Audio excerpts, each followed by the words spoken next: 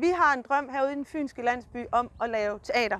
Teater, der handler om virkelige mennesker, der har levet herude på landet for 200 år siden. Til det der skal vi bruge nogle engagerede, frivillige amatørskuespillere, sangere og musikere, som har lyst til at være med til at vise de her menneskelige følelser, som vi føler dem i dag, og som man også følte dem dengang. Der er informationsmøde søndag den 12. januar, og så er der optagelsesprøver ugen efter. Er det noget for dig, så mød op der.